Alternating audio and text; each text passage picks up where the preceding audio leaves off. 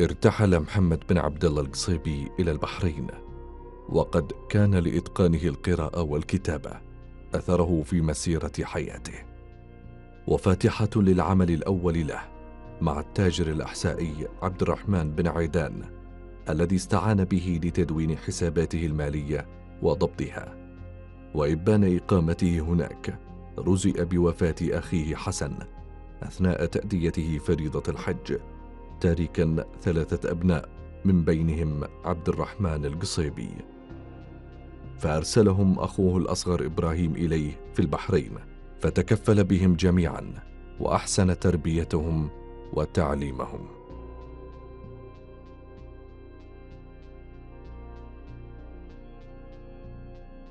توفي والد عبد الرحمن القصيبي في الحج وكان سن عبد الرحمن صغير وأصبح تحت كنف عمه إبراهيم والذي تزوج من والدته وتربى عنده فترة انتقل عبد الرحمن القصيبي مع أخوه إلى البحرين عندما طلبهم عمهم محمد ليكملوا تعليمهم وتدريسهم في البحرين.